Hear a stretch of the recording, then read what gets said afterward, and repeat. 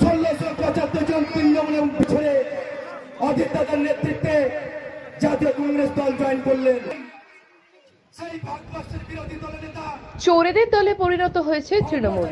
শুক্রবার বড়িয়া ব্লকের কুড়ি চৌরাস্তা মোড়ে দলীয় সভায় এমনই মন্তব্য করেন প্রদেশ কংগ্রেস সভাপতি তথা লোকসভার বিরোধী দলনেতা অধীর চৌধুরী। এদিন শাসক দলের দুর্নীতির অভিযোগে সুর চড়ান তিনি। শুক্রবার সিবিআই হেফাজতে থাকা এলাকার বিধায়ক জীবন কৃষ্ণ সাহার বিরুদ্ধেও কটাক্ষ ছুড়ে দেন প্রদেশ কংগ্রেস সভাপতি। এই সভায় তৃণমূল ও বিজেপি ছেড়ে প্রায় পনেরোশো কর্মী কংগ্রেসে যোগদান করেছেন বলে দাবি করেন উদ্যোক্তারা। একই সঙ্গে আগামী পঞ্চায়েত নির্বাচনে এই এলাকার তিনটি জেলা পরিষদ আসন দখল করবে কংগ্রেস বলেও দাবি করেন বড়িয়া ব্লক কংগ্রেস সভাপতি আজাদ মল্লিক।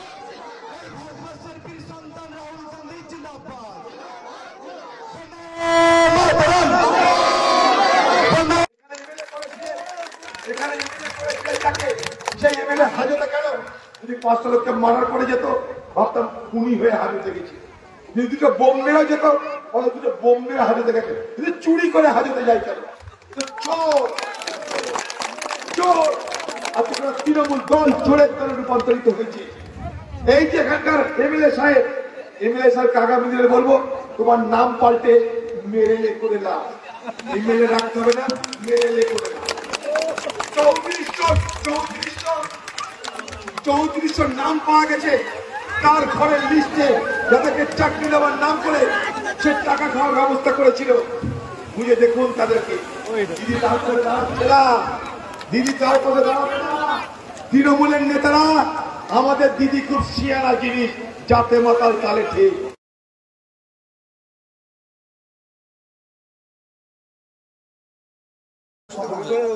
আপনারা তো দেখতে পেলেন, এই বাংলায় যে নৈরাজ্য, সেই নৈরাজ্যর বিরুদ্ধে যে প্রতিবাদ সভা এবং যোগদান সভা আমাদের কুলিতে প্রথম টেলার দেখানো হলো, আগামী দিনে এই বড়ুয়া থেকে উৎখাত হবে তৃণমূলের চচ্চুঠারা আপনারা দেখতে পাবেন, আগামী দিনে এই তৃণমূল থাকবে না। এই বাংলায় পড়ুয়া থেকে আমরা শিক্ষা দেব। অধীর চৌধুরীকে তিনটে তিনটে জেলা পরিষদ পঞ্চায়েত সমিতি পঞ্চায়েত। আমরা লড়ে দখল করে উপহার দেব এই বড়ুয়ার মানুষকে সংঘবদ্ধ করে এটা আমাদের দাবি। ঠিক আছে। মুর্শিদাবাদ থেকে নিজস্ব প্রতিনিধির রিপোর্ট টিভি নিউজ টেন।